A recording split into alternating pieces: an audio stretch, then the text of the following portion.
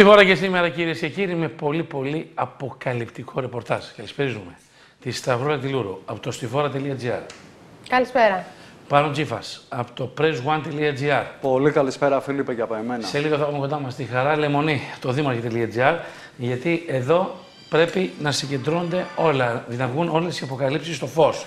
Πάμε λοιπόν γρήγορα να δούμε, γιατί ε, σήμερα πάει στη Σμύρνη ο Ερντογάν, συνεχίζει τις προκλήσεις είναι ένα καθημερινό θέμα το οποίο το βλέπουμε πλέον και όσο ναι. περνάνε οι μέρες όλο και να γίνεται χειρότερο το θέμα με τους Τούρκους. Για πες μας. Λοιπόν, ε, να πούμε ότι πράγματι σήμερα που διεξάγεται η μεγαλύτερη τουρκική άσκηση ΕΦΕΣ 2022 επέλεξε ο κύριος Ρετζέπ Ταγί Περντογάν να πάρει χέρι-χέρι τον κύριο Μπαχτσελή, τον ναι. εταίρο του, τους γκρίζους δλίκους ναι. δηλαδή. Απέσω το καταλάβουμε. Ναι. ναι, βέβαια. Ο κύριος Μπαχτσελή δεν είναι. Ναι. Ο, και να πάνε στη Σμύρνη να παρακολουθήσουν την τελική φάση της πρώτης ε, περίοδου αυτής της πολύ μεγάλης ε, άσκησης η οποία ουσιαστικά τι είναι; Ένα άτυπο γκριζάρισμα του Αιγαίου στα μέτρα που φαντασιώνονται οι Τούρκοι την γαλάζια πατρίδα. Δηλαδή από βάση σε νησιά, από βάση σε βραχονισίδες, αλεξιπτωτιστές να πέφτουν κτλ. Ε, ο ίδιος μάλιστα σήκωσε για ακόμα μία φορά το γάντι στο πλαίσιο της συνάντησης που είχε με το Μαδούρο για να επιτεθεί στον κύριο Μητσοτάκη λέγοντας ότι θα πρέπει να σταματήσουν να επεμβαίνουν τρίτες χώρες όταν διευθετούμε θέματα μεταξύ μας και ε, ε, ε, είπε πολύ περισσότερα.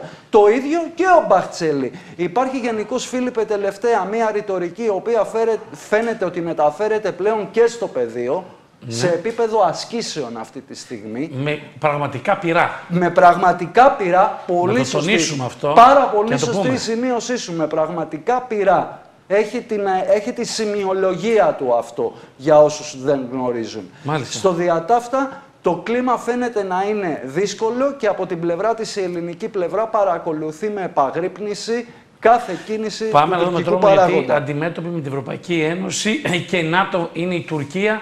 Ναι. Ε, σε ετοιμότητα η Αθήνα και περιμένουμε τον Ιούνιο, λέει, τα αρρώσιμα του Ιουνίου. Ναι, ακριβώς. Δηλαδή... Είναι, τρεις, είναι τρεις ημερομηνίες σταθμοί, έτσι θα τους έλεγα εγώ καλύτερα, τρεις ημερομηνίες σταθμοί, τους οποίους εμείς τουλάχιστον τους έχουμε αναφέρει αρκετές φορές, τους δύο, που δεν είναι άλλη από τη Σύνοδο Κορυφής ε, που θα γίνει 23 και 24 Ιουνίου και μάλιστα θα είναι θέμα η προκλητικότητα της Τουρκίας έναντι των εταίρων και γειτόνων της εταίρων στο ΝΑΤΟ και γειτόνων της φυσικά Ελλάδα και Κύπρο, όπως επίσης θα είναι και το, η συνάντηση στο ΝΑΤΟ που θα γίνει 29 και 30 Ιουνίου. Πρώτος σταθμός που δεν τον είπα. Τη χαρά λεμονή, παρακαλώ πολύ, να έχουμε σε πολύ λίγο. Πρώτος ναι. σταθμός που δεν τον είπα και καταληκτικός είναι η Σύνοδος της Νοτιοανατολικής Ευρώπης που γίνεται τώρα στις 10 Ιουνίου και παρακαλώ εκεί θα βρίσκεται η ηγεσία της Ευρωπαϊκής Ένωσης, δηλαδή ο Σάρλς Μισελ ναι. και η Ούρσουλα Φοντερ Λάιεν. Θα βρίσκονται εκεί πέρα όλοι οι πρωθυπουργοί των Βαλκανίων και ο κύριος Μητσοτάκης έχει ήδη διαμηνήσει ότι θα θέσει το θέμα της τουρκικής προκλητικότητας μπροστά σε όλους. Τώρα, μία και που μου λέει για τον κύριο Μητσοτάκη, θα πάμε στη Χάρα Λεμονή ε, για να μας πει τι ακριβώς γίνεται, γιατί έχει ήδη χτυπήσει και κόκκινος προεκλογικός συναγερμός. Ναι, ναι. Ξεκινάει ο Πρωθυπουργός περιοδίες, ε, ανακοινώθηκαν ονόματα που θα είναι υποψήφιες βουλευτίνες συγκεκριμένες υφυπουργίνες, αλλά και η πρώην Γενική Γραμματέας ε, για τις φυλακές που ήταν η Νικολάου, που θα ακούσουμε σε λίγο. Έχουμε χαρά, Λεμόνι, για πες μας. Φίλιππε, όντως, παρά το γεγονός ότι ο Πρωθυπουργός επιμένει πως οι βουλευτικές εκλογές θα, θα γίνουν σε ένα χρόνο, προφανώς θέλει να δώσει χώρο και χρόνο στις υποψηφιότητες των γαλάζιων ψηφοδελτίων. Έτσι, μετά την ανακοίνωση του Μιχάλη Χρυσοχοίδη για το δυτικό τομέα της Β' Αθηνών και του Τάκη Θεοδωρικάκου για το νότιο τομέα επίσης της Β' Αθηνών, το πράσινο φως πήραν η Υφυπουργός Κοινωνικών Υποθέσεων Δόμνα Μιχαηλίδου ναι. για την Α Πυραιός εν τέλει και όχι για την Α Αθηνών, η Υφυπουργός Τουρισμού Σοφία Ζαχαράκη για τον Ανατολικό τομέα της Περιφέρειας Αττικής, η Υφυπουργός Εργασίας Αρμόδια για τη Δημογραφική Πολιτική και την Οικογένεια Μαρία Σιρεγγέλα ε, και, και η πρώην Γενική Γραμματέας Αντεκλιματικής Πολιτικής Σοφία Νικολάου για την Εύβοια. Πρόκειται για εν γέννη γνωστές υποψηφιότητες με τις περισσότερες κυρίες ήδη να κινούνται προεκλογικά στις περιφέρειές τους. Το επόμενο διάστημα θα έρθουν και άλλες ανακοινώσεις. Ε, μια και παράλληλα πλέον δουλεύονται ε, παράλληλα με το κυβερνητικό έργο και τα ψηφοδέλτια της Νέας Δημοκρατίας. Για παράδειγμα, εκρεμεί η ανακοίνωση της πρώην Γενικής Γραμματέας Τουριστικής Ανάπτυξης Δίκης Λοΐζου στις Κυκλάδες ναι. και του εκπροσώπου τύπου της Νέας Δημοκρατίας Τάσου Γαϊτάνη για το νότιο τομέα της Β' Αθηνών και ο Γενικός Γραμματέας του ΕΟΤ, ο κύριος Δημήτρης Φραγκάκης, θα είναι ξανά υποψήφιος στα Χανιά. Μένει να φανεί δε αν και ο Υφυπουργός Άμυνας, ο κύριος Χαρδαλιάς, θα είναι τελικά υποψήφιος στα νότια της Αθήνας, ενώ αντίθετα η υποψηφιότητα Μιχαηλίδου στον Πειραιά οριστικοποιεί ουσιαστικά το ότι ο Γιώργος Γεραπετρίτης δεν θα είναι υποψήφιος με Σταυρό, ενώ κατά πάσα πιθανότητα δεν θα περιληφθεί εκ νέου και στο Επικρατείας, όπου και εκεί να πούμε αναζητούνται πρόσωπα, καθώς η Ντόρα Μπακογιάννη αποφάσισε να δώσει εκ νέου τη μάχη του, του, Σταυρού. του Σταυρού στα Χανιά. Παράλληλα, όπως είπες ο κύριος Μητσοτάκης, έχει αποφασίσει να βγαίνει από το Μαξίμου όσο πιο συχνά μπορεί, συνεχίζοντας τις περιοδίες του. Έτσι το πρωί της Παρασκευής πριν από τη Σύνοδο των χωρών της Νοτιοανατολικής Ευρώπης στο Χάγιατ, προγραμματίζει βόλτα και καφέ στο κέντρο της Θέρμης, ενώ αμέσως μετά θα επισκεφτεί τα νέα γήπεδα στο Ποσειδόνιο που εγκαινιάστηκαν προ λίγο ημερών. Μάλιστα, τώρα Με πάμε. λόγια υπάρχει κινητικότητα. Υπάρχει κινητικότητα όπως υπάρχει κινητικότητα και στο ΣΥΡΙΖΑ με τον Αλέξη Τσίπρα να κάνει περιοδίες και πάμε να δούμε όταν ο Αλέξης Τσίπρας συνάντησε έναν ψηφοφόρο του Μητσοτάκη. Ναι. Για πες μας. Εκεί ήταν το ωραίο, γιατί του είπε κιόλας ο Ναι. άνθρωπος ότι είναι ψηφοφόρος του, του Μητσοτάκη, αλλά του είπε ότι έτσι όπως θα πάει θα χάσει τις εκλογές. Ο Μητσοτάκης ή ο Ναι, ο Τσίπρας; Μητσοτάκης. Για να τον ακούσουμε. Θέλω να μιλήσετε στο Μητσοτάκη.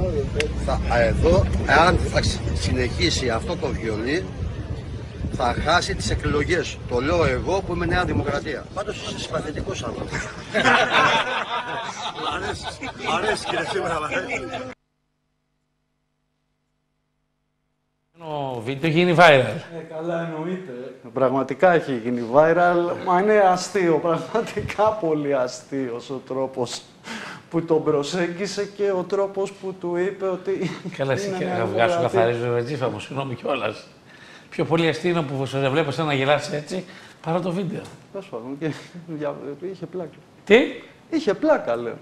μάλιστα, Και γι' αυτό έγινε και viral. μάλιστα. Πάμε παρακάτω. Πάμε παρακάτω. Πάμε παρακάτω να Πάντως δούμε. να πούμε και πέραν από την πλάκα ότι και οι δύο έχουν επιδοθεί σε έναν προεκλογικό αγώνα και δεν ξέρω τι λένε ή τι δεν λένε, ότι δεν έχουμε εκλογές και ότι θα περιμένουμε το τέλος της τετραετίας. Εγώ βλέπω και τα δύο στρατηγία να είναι ντουγρού και τα άλογα να τρέχουν. Μάλιστα. Πάμε τώρα γρήγορα να δούμε, πάμε να δούμε ε, τι γίνεται με την επιχείρηση θερμοστάτης. Τα είχαμε αναπεί, τα είχαμε πει πριν λίγες μέρες. Τώρα βγαίνει ο ίδιος υπουργός Ενέργειας και ξεκαθαρίζει το τοπίο. Ναι. Μπόνους για όσους εξοικονομούν ενέργεια και πέναλτι για τους αμελείς. Να τον ακούσουμε. Κόσμος τον ίδιο. Επίσης, του λογαριασμούς του κόστους ενέργειας για τους καταναλωτές μέσα από άμεσες επιδοτήσεις στους λογαριασμούς αλλά και την προώθηση της εξοικονόμησης ενέργειας. Είναι αυτονόητο ότι η πιο φθηνή και η πιο καθαρή ενέργεια είναι η ενέργεια η οποία εξοικονομούμε και δεν καταναλώνουμε. Σε αυτή την εθνική προσπάθεια η δημόσια διοίκηση οφείλει να αποτελέσει ένα θετικό παράδειγμα. Να αναλάβει πρωτοβουλίες για την εξοικονόμηση ενέργειας και την ορθολογική διαχείριση που θα οδηγήσουν σε μείωση του κόστους το οποίο επομίζονται τελικά οι Έλληνες φορολογούμενοι. Σήμερα ανακοινώνουμε ότι προ- προχωράμε σε μια συστηματοποίηση της προσπάθειας εξοικονόμησης σε τρεις άξονες. Πρώτον, δημιουργούμε ένα ψηφιακό σύστημα παρακολούθησης της κατανάλωσης ενέργειας σε εγκαταστάσεις του δημοσίου. Δεύτερον, προωθούμε άμεσα μέτρα με στόχο την μείωση της κατανάλωσης κατά 10% το επόμενο διάστημα, αλλά και μεσομακροπρόθεσμα μέτρα με στόχο την μείωση της τελικής ετήσιας κατανάλωσης στο δημόσιο κατά τουλάχιστον 30% μέχρι το 2030. Θεσπίζουμε τέλος κίνητρα στους φορείς του δημοσίου για την επίτευξη συγκεκριμένων στόχων ενεργειακής εξοικονόμησης που θα εξειδικεύσει αργότερα ο αρμόδιος υπουργός, αναπληρωτής Υπουργός Οικονομικών κ. Σχυλακάκης.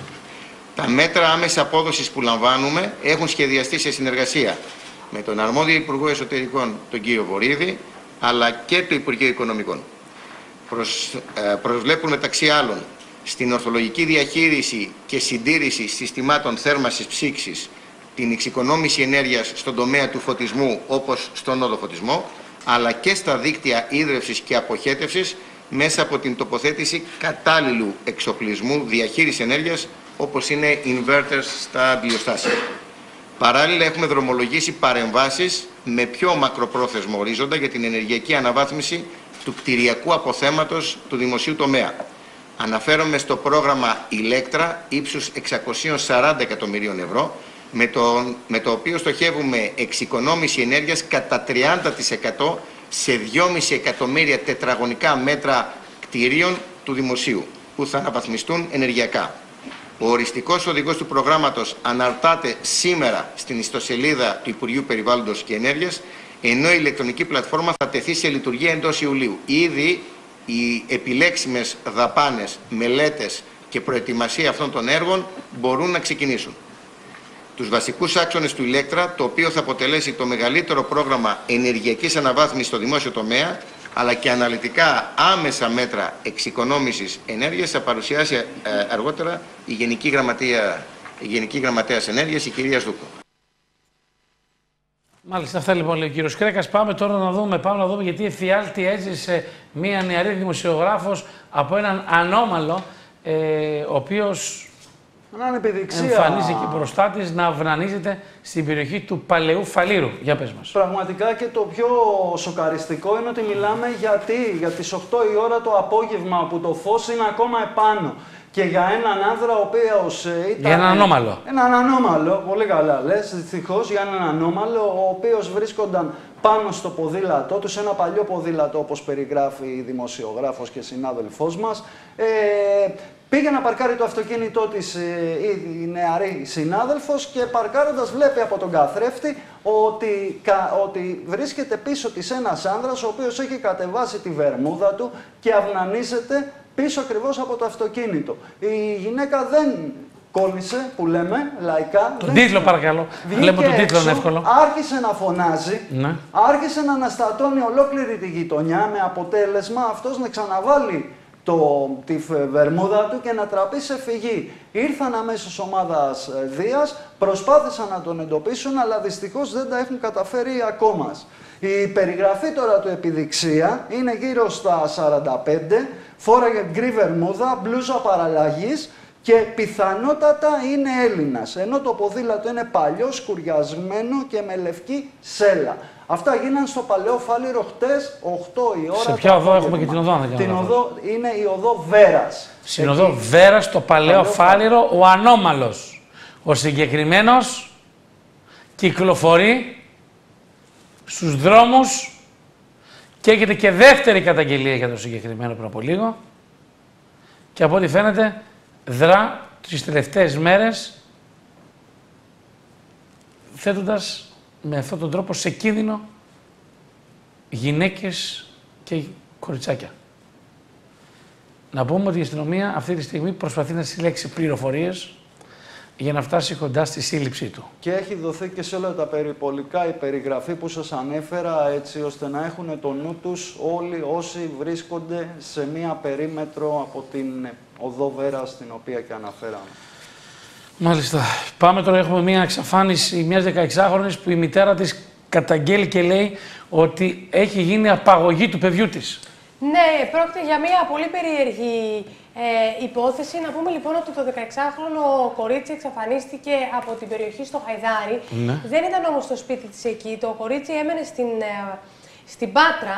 Ε, απλά επειδή το τελευταίο διάστημα αντιμετώπιζε και κάποια ψυχολογικά προβλήματα, αναγκάστηκαν οι δικοί της να τη μεταφέρουν ε, στο Χαϊδάρι. Δεν είναι όμως μόνο αυτό το πρόβλημα. Από ό,τι φαίνεται 16χρονη διατηρούσε δεσμό με έναν νεαρό Ρωμά, το είχε σκάσει κι άλλες φορές από το σπίτι.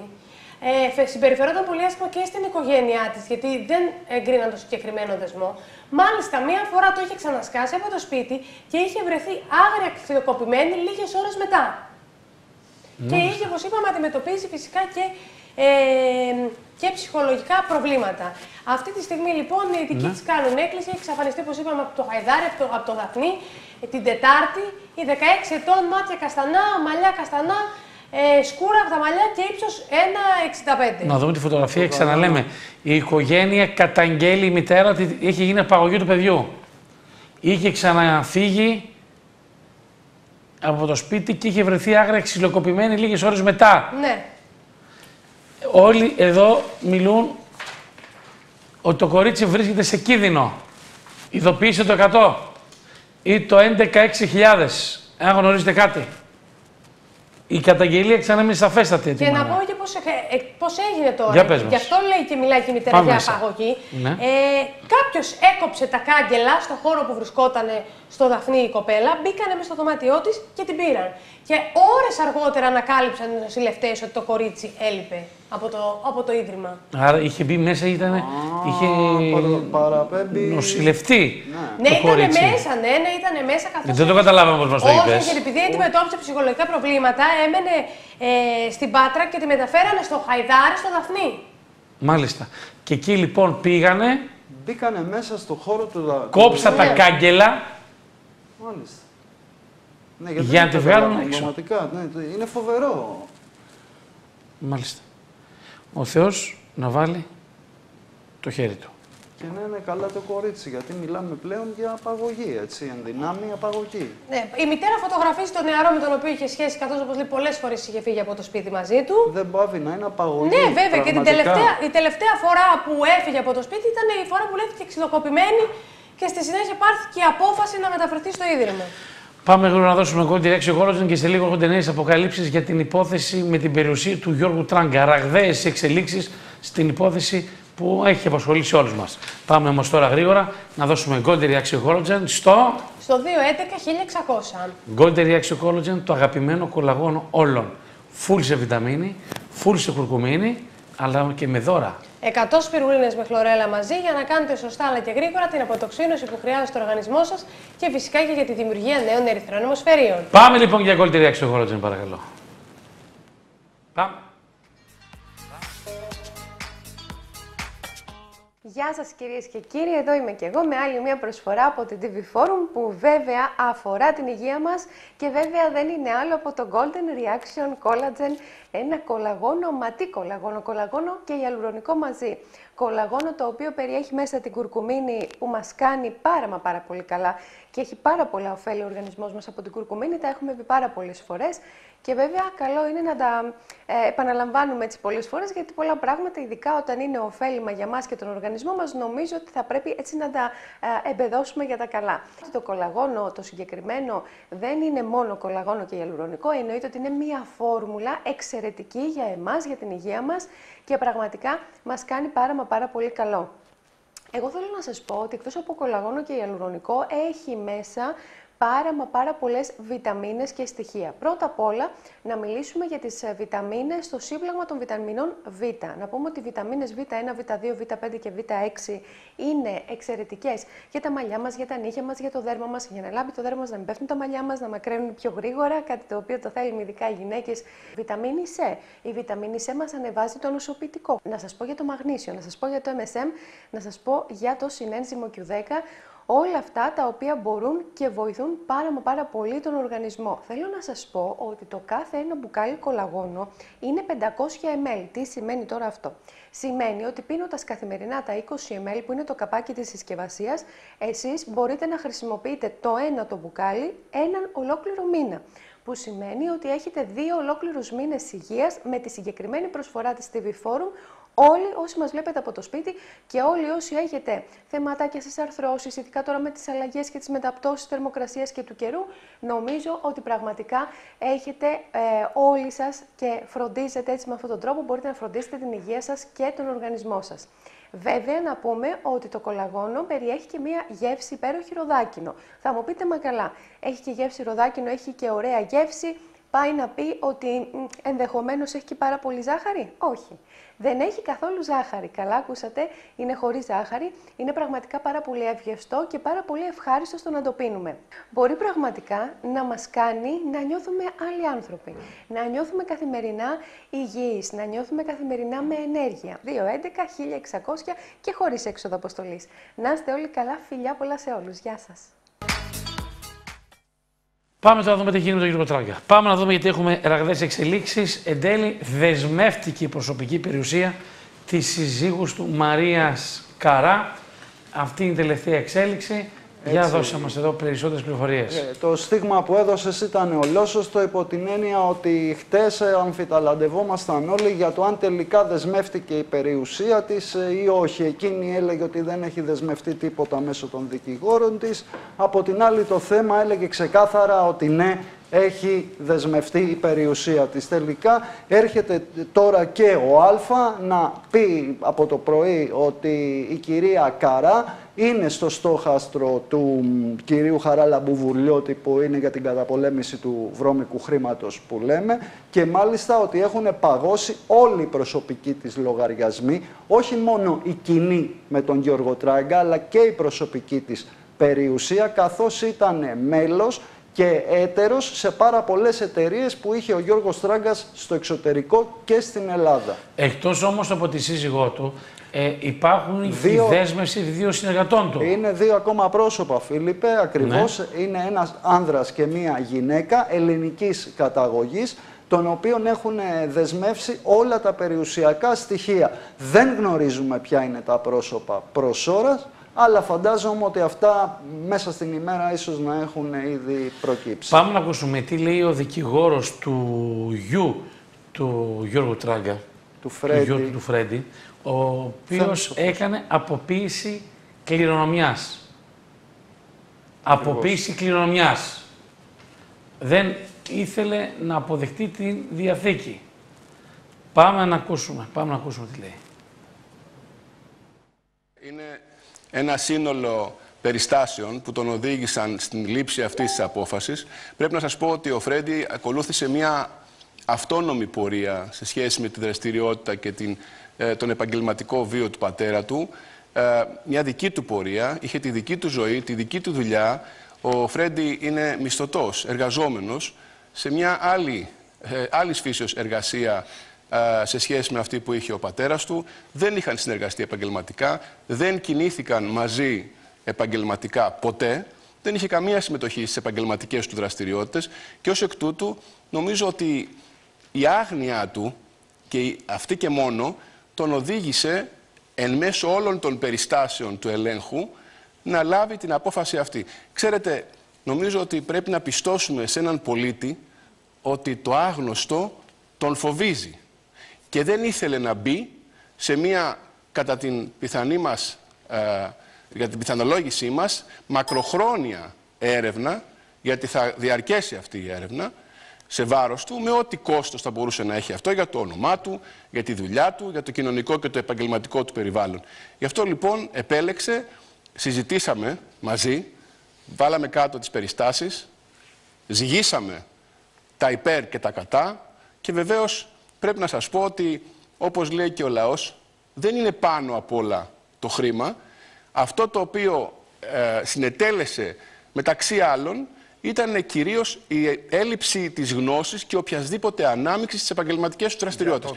Δεν σας κρύβω όμως ότι υπήρχαν λέτε... και άλλες περιστάσεις. Ήταν μια, ένα περιβάλλον το οποίο δεν συνετέλεσε, ας το πω, σε μια ε, ειρηνική διευθέτηση, σε μια ειρηνική συζήτηση. Ήταν ένα περιβάλλον δυσχερές για την ε, κατανόηση και την αντίληψη του συγκεκριμένου εντολέα μας, ο οποίος βεβαίως ε, έχει μια καθημερινότητα, είναι εργαζόμενος, έχει ένα μισθό, έχει μια διαφορετική αντίληψη των πραγμάτων.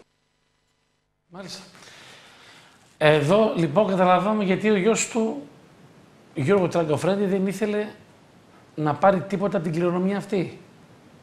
Το θέμα εδώ πέρα είναι ότι ο κύριος Σοφός, ο δικηγόρος, αποκαλύπτει επίσης για το πώς ανακάλυψε την ιδιόχειρη κρυφή διαθήκη του Γιώργου Τράγκα. Αυτό και αν έχει αξία πραγματικά να, Να ακουστεί. ακούσουμε, να το ακούσουμε, να το ακούσουμε. Πολύ ωραία, πολύ ωραία. ε, δικηγόρος οφείλει να κάνει όλες εκείνες τις ενέργειες προκειμένου να συγκεντρώσει την αναγκαία πληροφόρηση που θεωρεί απολύτως απαραίτητη για την ε, διαλεύκανση και τη διαφώτιση, τη διαλεύκανση μιας υπόθεσης και τη διαφώτιση του εντολέως του. Ξεκινήσαμε τον Γενάρη και αναλάβαμε την εκπροσώπηση του Φρεδερίκου Τράγκα, όπου εκεί βεβαίως ε, είχαμε εκκινήσει από την υπόθεση, όπως ο καθένας θα έκανε, ότι χωρεί η εξαδιαθέτου διαδοχή. Δηλαδή ότι κληρονομείται ο Γιώργος Τράγκας μετά το θάνατό του την 14 Δεκεμβρίου του 2021 χωρίς να έχει αφήσει διαθήκη. Αυτή ήταν η αρχική μας υπόθεση και αυτή οφείλει να είναι η αρχική υπόθεση οποιοδήποτε.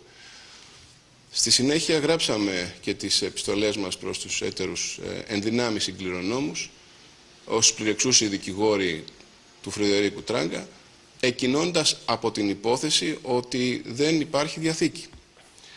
Ε, δεν θα σκρύβω ότι οι περιστάσεις της ε, εν γέννη ε, ανάλυσης αυτών των θεμάτων που αναφύονται γύρω από την κληρονομική διαδοχή δεν ήταν πρόσφορες, οπότε αποφάσισα, εγώ προσωπικά, με δική μου πρωτοβουλία και ευθύνη, χωρίς να το ανακοινώσω σε οποιονδήποτε παρά μόνον στον εντολέα μου, να μεταβώ στο Μονακό, όπου εκεί πρέπει να σας πω είναι τρεις οι συμβολιογράφοι, όλοι και όλοι.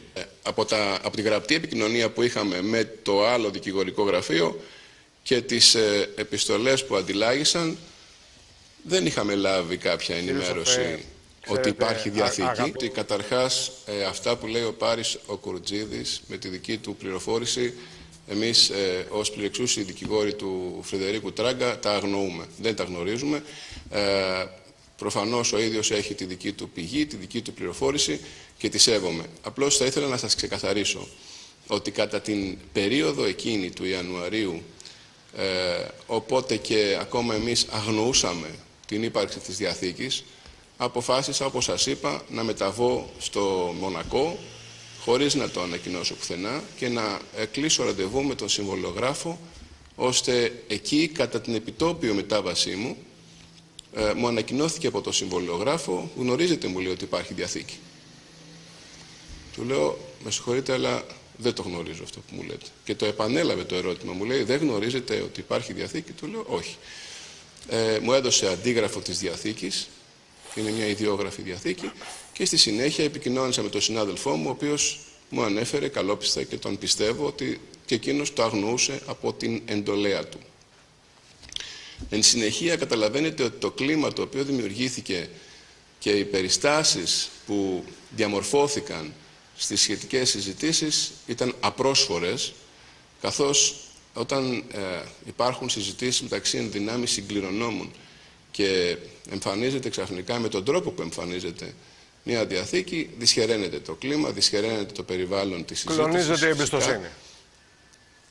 Υπάρχουν κάποια ζητήματα τα οποία δημιουργούν αρνητικές περιστάσεις. Μάλιστα. Αυτά λοιπόν λέει ο δικηγόρος και για το πώς έγινε η ανακάλυψη αυτής της διόχειρης κρυφής διαθήκης. Να πούμε ότι έχουμε ραγδαίες εξελίξεις με τα ελληνοτουρκικά. Θα δείτε σε λίγο. Βγήκε ο Ερντογάν και απειλεί ξανά ευθέως στην Ελλάδα. Δεν αστειεύομαι, μην εξοπλίζετε τα νησιά.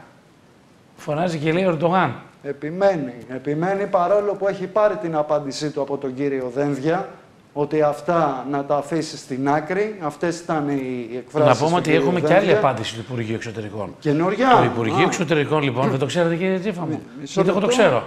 Να σας πω ποια είναι η απάντηση λοιπόν του Να Υπουργείου ακούσω, Εξωτερικών. βεβαίως. Είναι ότι το Υπουργείο Εξωτερικών απαντά στον τουρκικό αναθεωρητισμό με 16 χάρτες. Α, βέβαια. Να πούμε λοιπόν, με την ανάρτηση 16 χαρτών, η Αθήνα απαντά στις παράνομες αξιώσεις της Τουρκίας στο Αιγαίο. Σε ανακοίνωσή του το Υπουργείο Εξωτερικών ε, τονίζει ότι αν οι λόγω χάρτη, ότι οι λόγω χάρτες τεκμηριώνουν την έκταση του τουρκικού αναθεωρητισμού με την άγκυρα να απειλεί την ειρήνη, την ασφάλεια και τη σταθερότητα στην περιοχή μας. Να πούμε λοιπόν, Αυτοί οι χάρτες έχουν κατη, είναι- είχε, είχε κατηγορηθεί με τις συνθήκες της Λοζάνης και των Παρισιών. Ε, πάμε τώρα να δούμε τι λέει ο Τούρκος, ο Ερντογάν, για τις νέες απειλές. Πάμε σε να μας πεις. Συγγνώμη. Σε ακούμε. Ε, δώσ' μου λίγο Ο Ρετζίπ χρόνος, λοιπόν, σε Ταγί Ερντογάν λέει δεν, δεν απογοήτευσε το εσωτερικό ακροατήριο της Τουρκίας που περίμενε ότι η παρουσία του σε Σμύρνη, όπως σας είπαμε, ε, μαζί την με τον άσκηση. κυβερνητικό του εκεί εταίρο θα ήταν ακόμα μια Φιέστα. ευκαιρία για να επιτεθεί στη χώρα μας. Το έκανε με το παραπάνω. Τους έδωσε τη χαρά στους Τούρκους εκεί που θέλανε. Μην εξοπλίζετε τα νησιά στην Ελλάδα.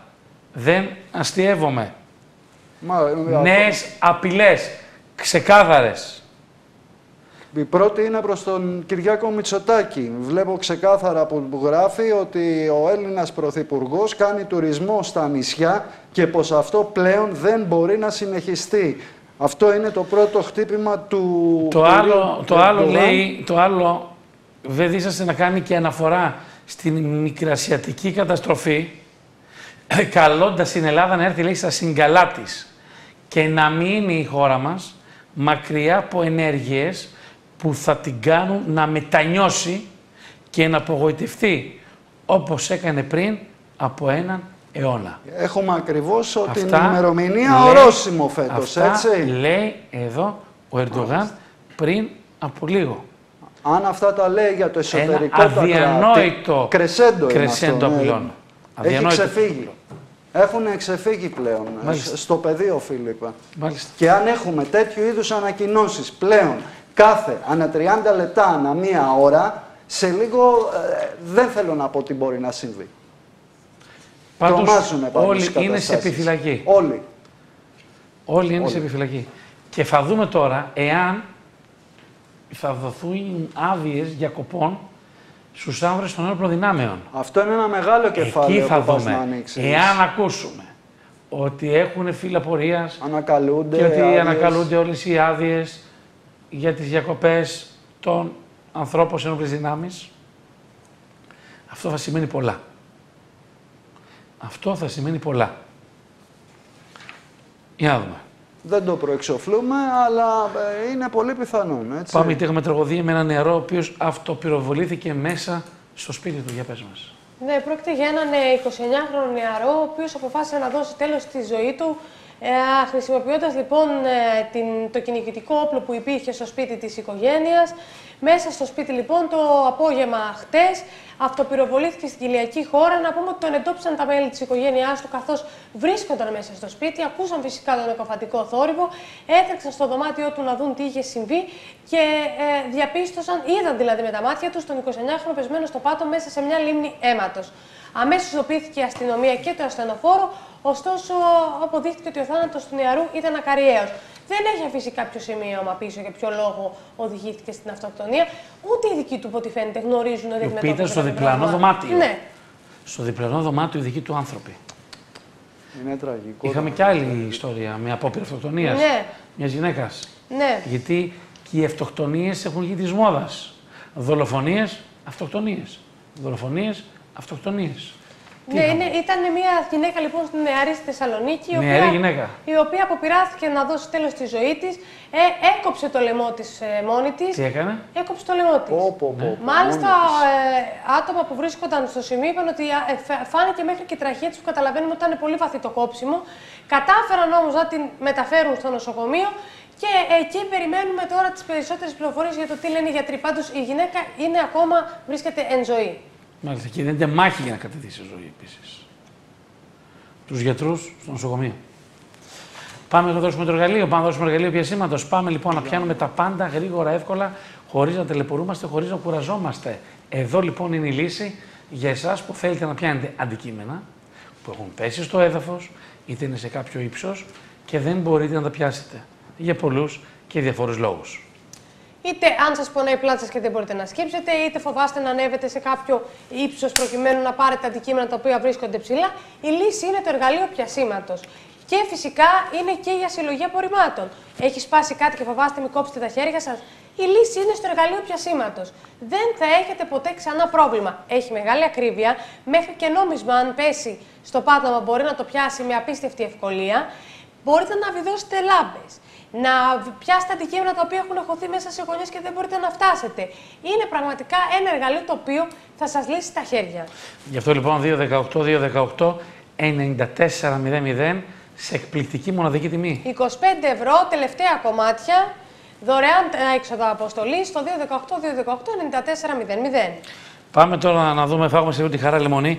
Πάμε τώρα λίγο να δούμε τι ακριβώς έχει γίνει ε, πάνω τζίφα με την άλλη ιστορία με τον πυροβολισμό δύο αδερφών. Ναι, Για πες όπου μέχρι αυτή τη στιγμή αναζητείται ο δράστης, ο παρολίγων δολοφόνος δύο αδελφών με τους οποίους αποδείχτηκε τελικά, σύμφωνα με τα τοπικά μέσα μαζικής ενημέρωσης, ότι είχε μεγάλες οικονομικές διαφορές και γι' αυτό το λόγο χτες στην αερογέφυρα των Βαγιών, στη Βιωτία, πυροβόλησε χτυπώντας τον έναν εκ των δύο αδερφών ε, στο πρόσωπο από τα σκάγια που εξφενδονίστηκαν και πέρασαν το τζάμι του γιο ταχύς στο οποίο βρίσκονταν ο 44χρονος. Ε, αυτή τη στιγμή γίνονται έρευνες προκειμένου να βρεθεί, συλληφθεί και παραδοθεί Ναι. φυσικά στη δικαιοσύνη για να δώσει εξηγήσεις. Και ο αδερφός ε, να πούμε ότι είναι καλά στην υγεία του αυτή τη στιγμή παρά το γεγονός ότι εξακολουθεί να βρίσκεται στο νοσοκομείο, Φιλίππε. Μάλιστα, πάμε γιατί έχουμε και μία έτσι άσχημη είδηση που αφορά τον Γιώργο Παπανδρέου.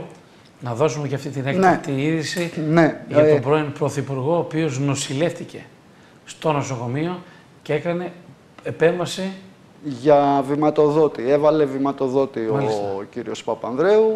Ο- Ήταν ένα προγραμματισμένο, όπως τουλάχιστον λέει η ανακοίνωσή τους, ε, ραντεβού, το οποίο έπρεπε να γίνει ε, στην Ευρωκλινική, καθώς οι ιατροί ύστερα από εξετάσεις, όπως αναφέρεται, είχαν κρίνει ότι χρειάζεται να τοποθετηθεί βηματοδότης, ο οποίος τοποθετήθηκε ε, επιτυχώς. Ε, ας το ευχηθούμε τα καλύτερα, υγιής να είναι, να πούμε τα περαστικά και μας λοιπόν Περαστικά στον πρώην Πρωθυπουργό. στον πρώην Πρωθυπουργό ακριβώς. Πάμε τώρα, πάμε τώρα. Έχουμε τη χαρά λοιπόν στη τηλεφωνική μας γραμμή. Χαρά. Σας ακούω. Πάμε τέλος τα αυτοκίνητα με βενζίνη και δίζελ στην Ευρώπη. Μόνο ηλεκτρικά.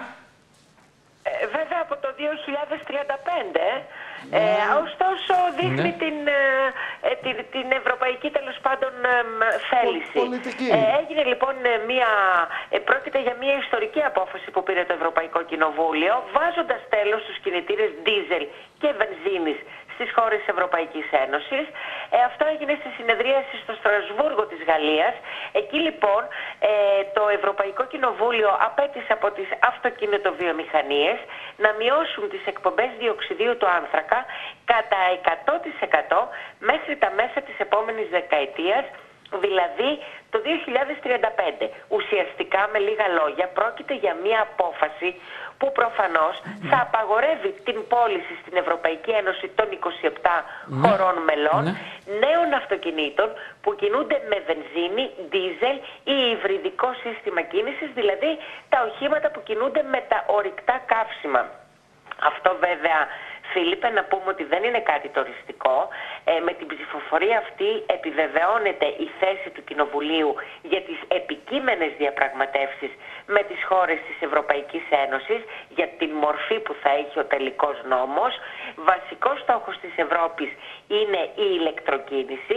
Ενθαρρύνει η Ευρώπη τις αυτοκινητοβιομηχανίες να κάνουν τέτοιες επενδύσεις ε, και να πούμε μάλιστα ότι οι χώρες ε, που ε, ε, θέλησαν να υψώσουν ας πούμε τον τόνο της φωνής τους και τάχτηκαν υπέρ της πρότασης για μείωση του, διαξι- του διοξιδίου του άνθρακα μέχρι 90% ε, το αίτημά τους αυτό δεν έγινε αποδεκτό. Μάλιστα. Χαρά Λεμόνη, σε ευχαριστούμε πολύ. Πάμε γρήγορα να δώσουμε το αγαπημένο χολαγόν όλων, το Golden Reaction Collagen, νούμερο 1 σε βιταμίνες. Νούμερο 1 σε κουρκουμίνη. Νούμερο 1 για να έχετε τεράστια ωφέλη στον οργανισμό σας. Αλλά και τα δώρα. Δώρα υγείας για όλους. 100 σπιρούλινες με χλωρέλα μαζί για την αποτοξίνωση του οργανισμού μας, αλλά και για τη δημιουργία νέων ερυθρών αιμοσφαιρίων.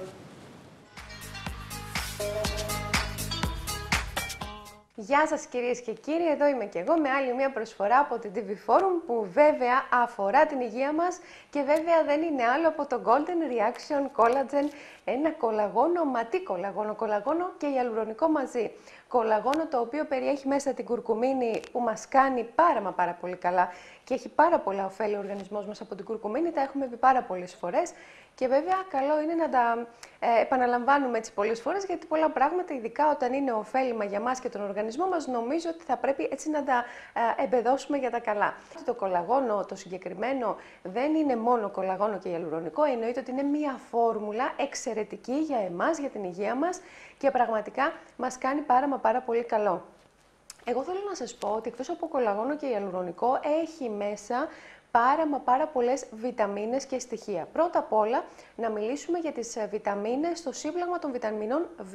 Να πούμε ότι οι βιταμίνες Β1, Β2, Β5 και Β6 είναι εξαιρετικές για τα μαλλιά μας, για τα νύχια μας, για το δέρμα μας, για να λάμπει το δέρμα μας, να μην πέφτουν τα μαλλιά μας, να μακραίνουν πιο γρήγορα, κάτι το οποίο το θέλουμε ειδικά οι γυναίκες. Βιταμίνη C. Η βιταμίνη C μας ανεβάζει το νοσοποιητικό. Να σας πω για το μαγνήσιο, να σας πω για το MSM, να σας πω για το συνένζυμο Q10, Όλα αυτά τα οποία μπορούν και βοηθούν πάρα μα πάρα πολύ τον οργανισμό. Θέλω να σας πω ότι το κάθε ένα μπουκάλι κολαγόνο είναι 500 ml. Τι σημαίνει τώρα αυτό; Σημαίνει ότι πίνοντας καθημερινά τα 20 ml που είναι το καπάκι της συσκευασίας, εσείς μπορείτε να χρησιμοποιείτε το ένα το μπουκάλι έναν ολόκληρο μήνα που σημαίνει ότι έχετε δύο ολόκληρους μήνες υγείας με τη συγκεκριμένη προσφορά της TV Forum Όλοι όσοι μας βλέπετε από το σπίτι και όλοι όσοι έχετε θεματάκια στις αρθρώσεις, ειδικά τώρα με τις αλλαγές και τις μεταπτώσεις θερμοκρασίας και του καιρού, νομίζω ότι πραγματικά έχετε ε, όλοι σας και φροντίζετε έτσι με αυτόν τον τρόπο, μπορείτε να φροντίσετε την υγεία σας και τον οργανισμό σας. Βέβαια, να πούμε ότι το κολαγόνο περιέχει και μία γεύση υπέροχη ροδάκινο. Θα μου πείτε, μα καλά, έχει και γεύση ροδάκινο, έχει και ωραία γεύση. Πάει να πει ότι ενδεχομένως έχει και πάρα πολύ ζάχαρη; Όχι. Δεν έχει καθόλου ζάχαρη. Καλά ακούσατε, είναι χωρίς ζάχαρη. Είναι πραγματικά πάρα πολύ ευγευστό και πάρα πολύ ευχάριστο στο να το πίνουμε. Μπορεί πραγματικά να μας κάνει να νιώθουμε άλλοι άνθρωποι. Να νιώθουμε καθημερινά υγιείς, να νιώθουμε καθημερινά με ενέργεια. 2, 11, 1600 και χωρίς έξοδο αποστολής. Να είστε όλοι καλά, φιλιά πολλά σε όλους. Γεια σας. Μάλιστα, πάμε τώρα, πάμε τώρα να δούμε γιατί. Χαρά Λεμονή, μας ακούς; Μας ακούει χαρά; ακούω. Είδος πολυτελείας στο σουβλάκι. Είδος πολυτελεία στο σουβλάκι και στη Θεσσαλονίκη. Γιατί μέχρι τώρα έχουμε αναφερθεί σε άλλες περιοχές της Ελλάδας, κυρίως στα νησιά Φίλιππε. Το πιτόγυρο 4 ευρώ. Ο πιτόγυρος Φίλιππε φτάνει και 4 ευρώ. Ναι. Οι ανατιμήσεις αυτές βέβαια να πούμε ότι κάνουν λιγότερο προσιτό το αγαπημένο σνακ των Ελλήνων. Και όπως λένε οι επαγγελματίες του κλάδου, οι παραγγελίες καθημερινά γίνονται και μικρότερες και πιο αραιές. Οι αυξήσεις λοιπόν κυμαίνονται από 10 έως 15%. Ο καταναλωτής πλέον αγοράζει σήμερα ένα γύρο σε πίτα από 3,5 έως 3,90 ευρώ. Για το καλαμάκι σε γύρο έχει αυξηθεί από 3,10 σε 3,5 ευρώ. Στα περισσότερα καταστήματα του κέντρου της Θεσσαλονίκης ο καταναλωτής πολύ δύσκολα θα βρει τον κλασικό πιτόγυρο κάτω από 3,70 ευρώ ενώ σε πολλά μαγαζιά αγγίζει και τα 4. Εντάξει, σχροκέρδια αυτά. Τι σχροκέρδια, αυτό δεν τους βγαίνει; Τι σχροκέρδια. Τι σου βγαίνει πια, σε το έχουν παρακάνει. Είναι τρομερά το... Ποιος το έχει παρακάνει ρε Τζίφα, η επιχείρηση το έχει παρακάνει ή η ακρίβεια; Να το βάλουμε κάτω, η ακρίβεια ναι όταν είναι ακρίβεια. Όταν έχει το ρεύμα ο άλλος, κάτσε για λεπτά ρε Τζίφα. Δεν έχει αξία όσο το αγοράζεις το καλαμάκι το κρέα. Το οποίο έχει ακρίβεια είναι. όλο είναι. Ε, το ρεύμα. Το φυσικό αέριο. Τα κάρβουνα τα ενίκια, η αύξηση των προϊόντων, αύξηση στο κρέας, η τιμή, αύξηση στα λάδια, αύξηση στα λαχανικά, αν δεν αύξηση, αύξηση, αύξηση. Τι έκανες όλοι τα κλέβει, για να φας εσύ πιτόγυρο. Για να απαντήσω. Πήρε εσύ σουβλατζίδικο. Πήγαινε εσύ να ανοίξει σουβλατζίδικο να τρώμε με 2 ευρώ σουβλάκι. Πιτόγυρο, άνοιξε. Για να Έχεις τα κότσια το κάνεις. Υποστηρίζεις ότι... Φυλακή θα μπεις. Μάλιστα. Για να απαντήσω λοιπόν σε αυτό που είπε ο Πάνος, γιατί δεν με άφησε να τελειώσω το ρεπορτάζ. Με συγχωρείς, ε, το Χαρά. κόστος των πρώτων υλών φτάνει μέχρι και 50% αύξηση και ο καταναλωτής βλέπει την αύξηση γύρω στο 10 με 15%. Αυτό εξηγούν οι επαγγελματίες. Είναι διότι έχουν απορροφήσει στο μεγαλύτερο βαθμό τις ανατιμήσεις που έχουν γίνει στις πρώτες Και για να δώσουμε μία απάντηση στον κύριο Τζίφα από τον πληθωρισμό που είχαμε ρεκόρ και το Μάιο, Το 29 είχαμε, αυτό. Αυτό είναι αλήθεια. είχαμε άλμα 172% στο φυσικό αέριο. Έτσι. Ε, είχαμε 80,2% για το ρεύμα. Ναι, ναι. Μεγάλη άνοδος στις μεταφορές με πλοίο και αεροπλάνο. Απλά να μην γίνεται, εύχομαι, πρόσχημα για Ποιο κάποιους... πρόσχημα, βρε φίλε, εδώ φυλακή παίρνουνε. Έχω φίλο με σουβλατζίδικο, το έκλεισε χτες. Τελευταία μέρα ήταν.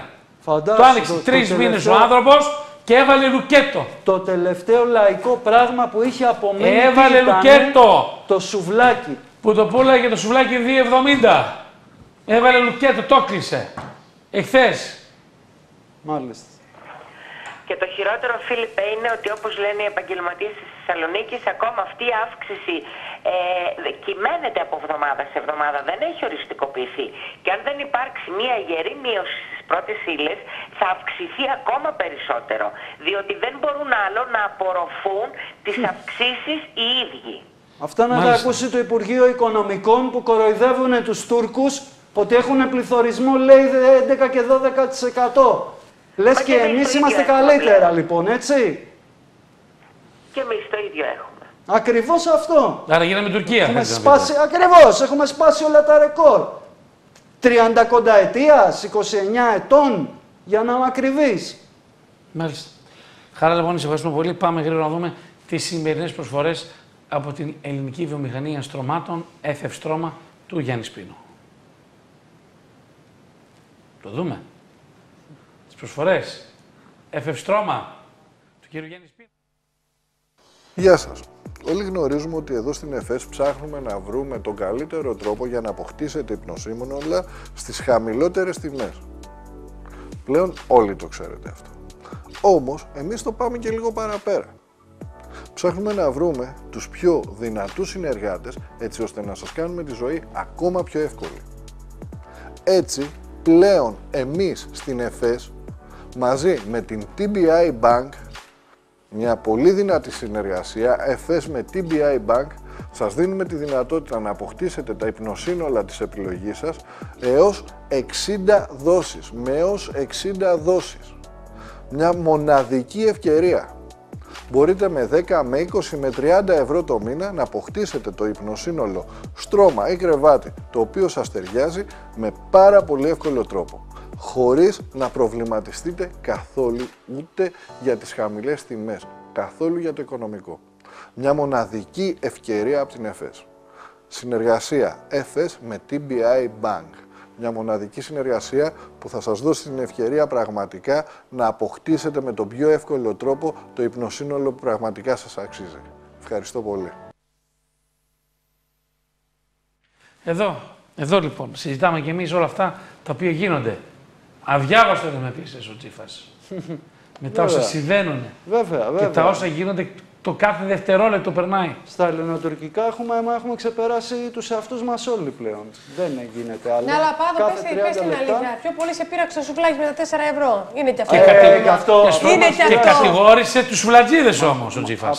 Όχι, όχι. Κατηγόρησε- μην το αυτό ξαναπείς, είπες, για έτσι. σχροκέρδια. Μίλησα Τους σουβλατζίδες. Ότι, ότι αν τυχόν Το κάποιοι- μεργοματιάρι, εργαζόμενο κύριε Τζίφα. Έλα μωρέ, τώρα μην το κάνεις αυτό. Σε παρακαλώ. Είναι άδικο. Είναι άδικο να το κάνεις. Πάμε να τώρα να βάζουμε δούμε τι τον γίνεται κλάδο. εδώ, γιατί έχουμε ένα κύκλωμα σε ελληνική πρεσβεία. Αυτό να πούμε. Η οποία στην Ε, Ασία που έβγαζε παράνομες βίζες.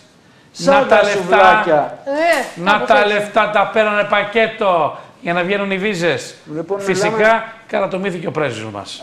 Για πες Ε, μας. ε, αυτό ήταν το ελάχιστο που θα μπορούσε να γίνει. Μιλάμε για μία από τις μεγάλες πρεσβείες στην Ασία, όπου ο ίδιος ο πρέσβης παρακαλώ ήταν το φυσικό πρόσωπο και οι συνεργάτες του που κάνανε τι, συμμετείχαν σε ένα δίκτυο δουλεμπορίας το το οποίο αριθμούσε μόνο στο γραφείο του βρέθηκαν εκατοντάδες, χιλιάδες διαβατήρια και ταξιδιωτικά έγγραφα παραποιημένα. Αυτά είναι που βλέπουμε, αυτά τα Τι λέτε λίγα.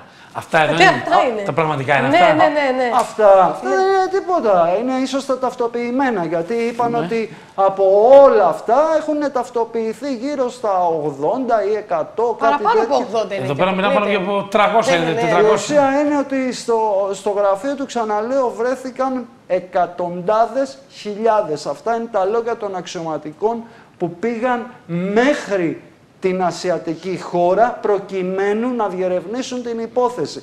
Και βρέθηκαν άλλα τόσα σε δύο χρηματοκιβώτια τα οποία διατηρούσε ο ίδιος άνθρωπος. Ο πρέσβης. Ο πρώην πλέον πρέσβης, γιατί καρατομήθηκε Τι μου κάνετε όπως κύριε πολύ πρέσβη, που σωστά λέγεται είπες. τέτοιο.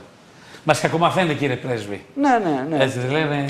Τέσσερις τα χιλιάδες σοκολατάκια. ευρώ η ταρήφα να πούμε. Μας κακομαθαίνει. Έτσι, εκεί είναι τα λεφτά. Πόσο η ταρήφα; 4.000 ευρώ η ταρήφα. Βάλε μόνο τα διαβατήρια που βλέπεις για να καταλάβεις πώς πραγματικά κονομάνε κάποιοι τελικά. Εις βάρος της χώρας. Εις βάρος της χώρας και εις βάρος όλων μας. Όλα αυτά τα τομάρια, και συγγνώμη που μιλάω έτσι, θα πρέπει να την πληρώσουν. Όχι με λεφτά, να μπουν φυλακή. Στην ψηρού. Στην ψηρού εφόσον αποδεικτούν όλα αυτά. Με την πάυση του απλά από τα καθήκοντά Στην του. ψηρού! Τον κουλουρά που που έλεγε κουλούρια δεν είχε να φάει. Και τη γιαγιά με τα τερλίκια. Φυλακή! Έτσι. Ο, ο πρέσβης όμως, όχι είναι ο πρέσβης. Παρακαλώ, φίλοι μου, ε, το Ο πρέσβη πρέσβης. μας. Βάλε Δεν εδώ πρόλαβε να πέρα. τα δώσει κιόλας. Δηλαδή. Ποιο; Δεν πρόλαβε να τα δώσει Τα κιόλας. Αυτά υπόλοιπα. έτοιμα, έτοιμα τα Ναι, είχε. Ναι, ναι, ναι. Φανταστείτε μόνο, για τα 80 ήταν 320 χιλιάρικα. Πάμε λοιπόν να δούμε, στα γύρω λένε περίπου μια εκτίμηση, να έχει δώσει γύρω στα 2.500 χιλιάρικα τώρα τελευταία. 2.500 επί 4 χιλιάρικα, Επί Ναι. 4.000 ευρώ ακριβώς. πάνω από 10 εκατομμύρια. Και- Δηλαδή, ε, ακριβώς, τώρα α, α, αρχίζεις να, πα- να παθαίνεις ταράκουλο και να λες αυτός ο άνθρωπος βρίσκεται Χρωστάς, ανάμεσά μας. χρωστάς 1.000 ευρώ, 2.000 ευρώ φυλακή. Χρωστάς πάνω από 5 εκατομμύρια, περάστε κύριε. Ελλάδα από κάτω. Καλώς ορίσατε. Ελλάς. Τεμενάδες. Τεμενάδες. Εκατομμύρια χρωστάς. Είσαι ο καλύτερος.